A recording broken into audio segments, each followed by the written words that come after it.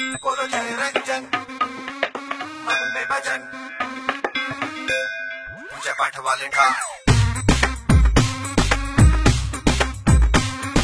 मन में भजन। हे भगवान।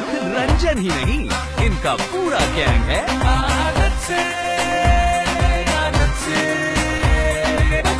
इस सितंबर से सिर्फ़ सब पर।